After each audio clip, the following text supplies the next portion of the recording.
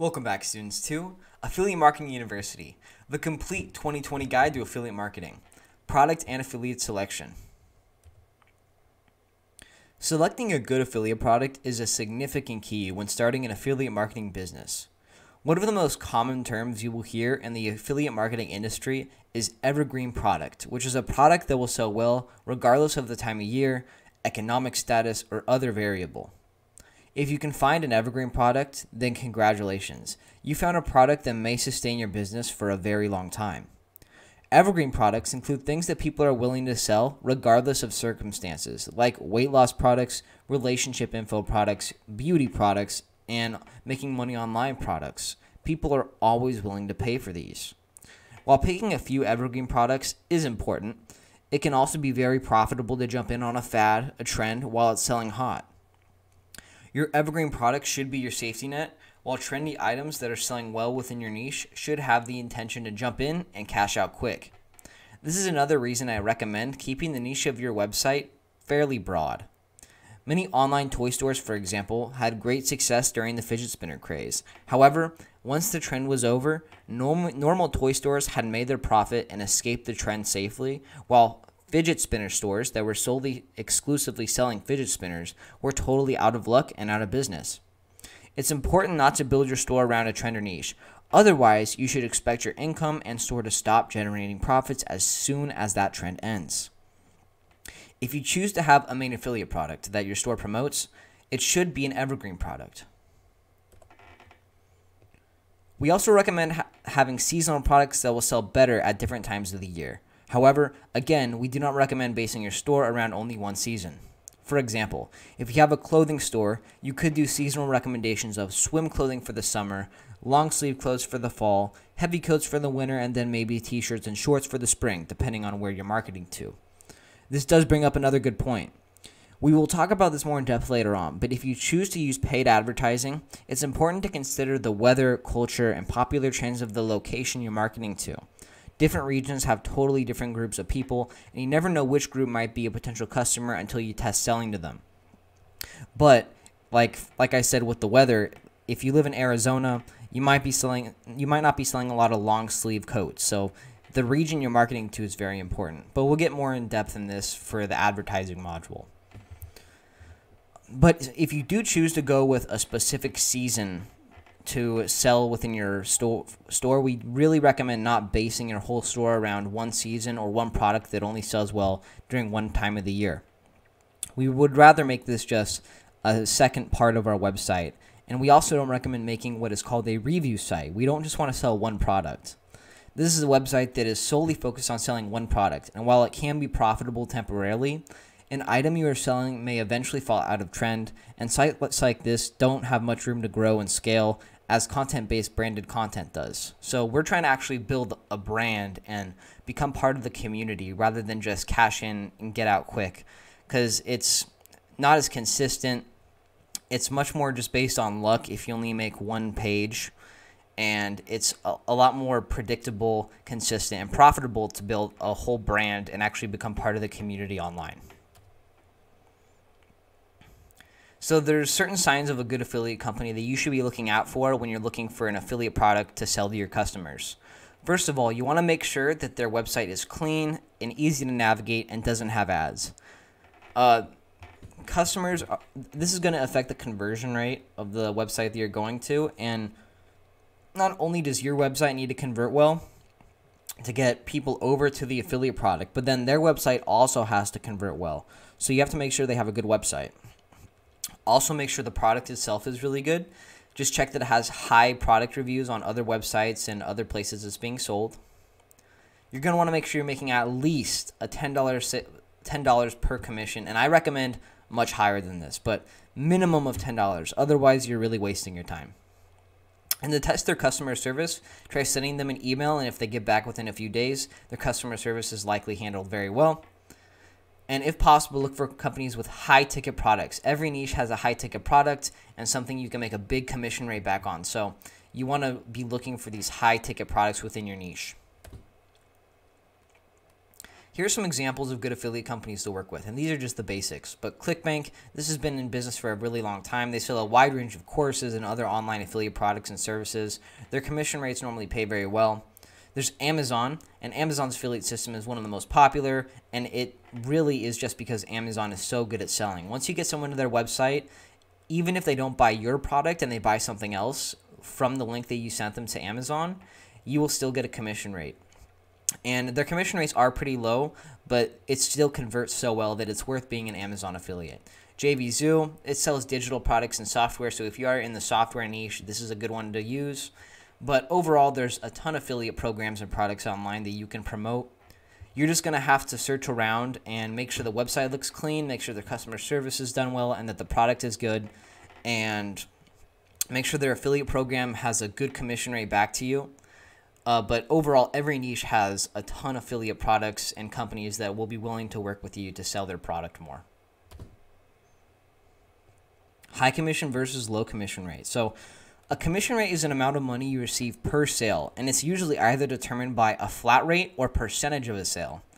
The higher the commission rate, the more money you make per sale. Now, usually, items with a very high commission rate, like 70%, are hard to sell. It's typical for a company to raise the commission rate so they can get more affiliates to sell their product if they're not making many sales as it is. Smaller companies usually pay higher commission rates, while Amazon, for example, pays a lower commission rate. It is easier to make sales on Amazon though, since people are familiar with it and they convert so well, but you won't be making as much money per sale. Really, you're either going to go with quality of commission rate, so the actual price that they're giving you, you want to make a big commission rate back, or you want to go with a site like Amazon that is going to convert really well and people buy on really easily. It's best to target more significant problems in your audience rather than selling smaller products to make the most money. For example, let's say you're in the barbecue niche. Rather than writing a review on five different spatulas, you're going to want to write a review on a battle between two barbecues. Although you will be making fewer sales selling barbecues, you will likely be making far more money per sale. And it's not wrong to include small products on your website, but if you want to make money fast, it's best to find ways to market larger or more substantial products so your commission rate is bigger. The same thing applies when trying to sell courses or services online. Let's say that you're trying to sell a $20 course with a 75% commission rate. This wouldn't be too bad as you're making $15 per sale. However, a high end course that costs $1,000 and has a commission rate of 20% would net you $200. And I would argue that making one $1,000 sale is easier than the $14 than 14 $20 sales. And believe it or not, it's all about who you market to and how you market online to make the sale because there's an entirely separate market that is willing to pay $1,000. And the commission rate on a $1,000 product is going to be so much larger than a $20 product. And you can actually sell a high ticket product online if you're marketing to the right audience. But a $1,000 price tag should hold a $1,000 product. I guarantee you that there is an entirely separate online audience that is looking to spend $1,000 or more on a course because they want the end all be all of courses and they want to master whatever they're attempting to learn. It's up to you to be ethical and pick the $1,000 course that holds a $1,000 value. Otherwise, your customers will just refund all their purchases and you won't make any money. Here's some examples of highly profitable affiliate items.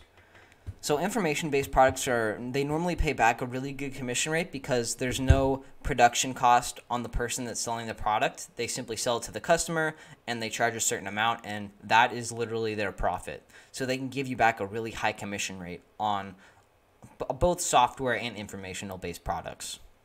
Subscription boxes can have pretty good commission rate. Both electronics, artistic things, and musical equipment all are very high end products and they cost a lot. So naturally, their commission rate is very high and you get a lot of money per sale. Pet houses, toolkits, and bundles, all these different things, they have a lot of components to them and they overall have high price tags. So, again, you're going to make a really good commission rate back on them. So, again, we're looking for high ticket items and every niche has some. You're just going to have to do some browsing and looking around to find what is selling well within your niche for a high ticket price. Review. So, what is an evergreen product? What is a seasonal product? What are signs of a good affiliate company? High commission versus low commission.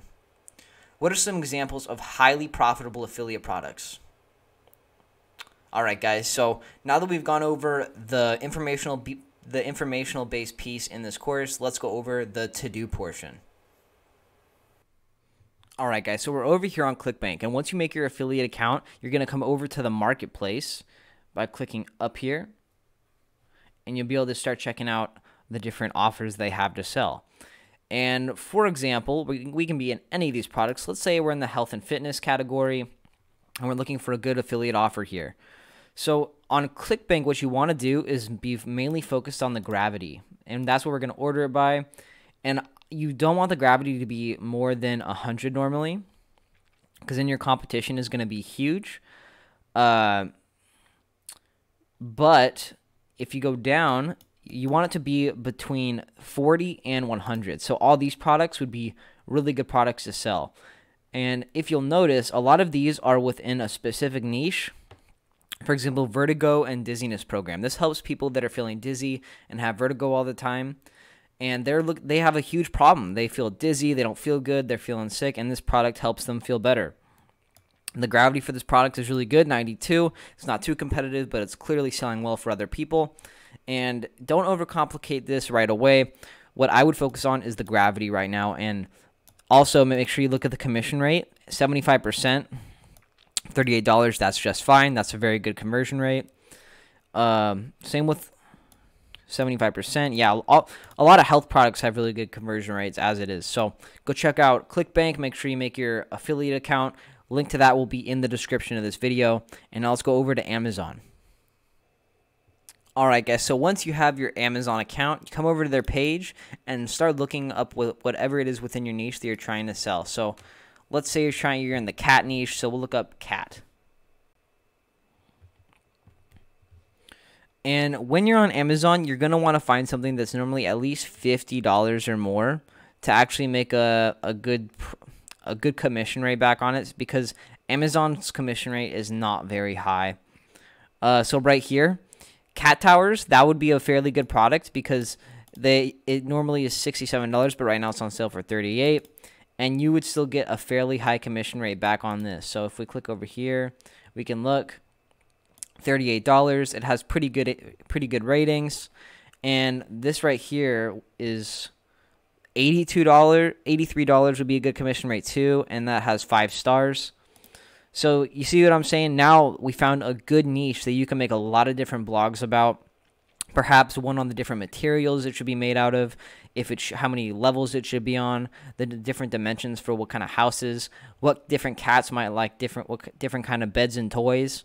So this is a pretty saturated market, honestly, so I would be careful to jump in on the cat niche unless you're willing to niche down very, very far. But this is just an example of what you should be looking for on Amazon. Just high ratings, high ticket products, and it. I wouldn't go with something that has like 1,000 reviews. It's better to stay around 100. That way, your competition isn't too high if you're going to try targeting the specific product. So here, I could actually, on my blog, literally put pause road cat tree luxury cat tower, and I'd be able to rank for people that are searching for this product. And I, if I wanted to do it with this one, I'd probably be competing with a lot of other salespeople. So try sticking around 100 reviews if you're going to include the actual title as a keyword that you're trying to target for your search engine optimization on your website. All right, guys, good job on finishing the to-do portion. All we did here was create an Amazon affiliate and a ClickBank affiliate, and then I'll show you how to find a good product and good affiliate uh, program to use with it, or a good affiliate product to use with it.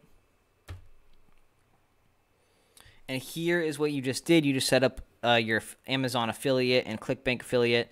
I showed you how to pick an affiliate product. And the other things I want you to do is start researching on Ubersuggest different search engine optimization tactics that will work well around your product. So when you pick a product, go to Ubersuggest and type in that product title to see how many monthly searches it is getting and what kind of different search phrases you could use and keywords you could use on your blog to rank well on Google to get more organic traffic. Also, make sure you research some of the high ticket offers within your niche, search for low ticket offers within your niche, Both these can be profitable. We like high ticket offers for the most part, but there's no shame in having a low ticket offer as well. And then also look for untapped affiliate markets. Same thing, you're going to want to use Neil Patel's Uber Suggest and look around in your niche for different problems that people have and different products that are selling well and untapped niche markets. Good job on finishing this module, guys. I will see you in the next module. The next module is going to be one of the most powerful modules we do release. It's going to be our solution funnel sales system, and you guys are going to really love this, and it's going to increase your conversion rates by a ton and help you make a lot more sales online. So we'll get right into it.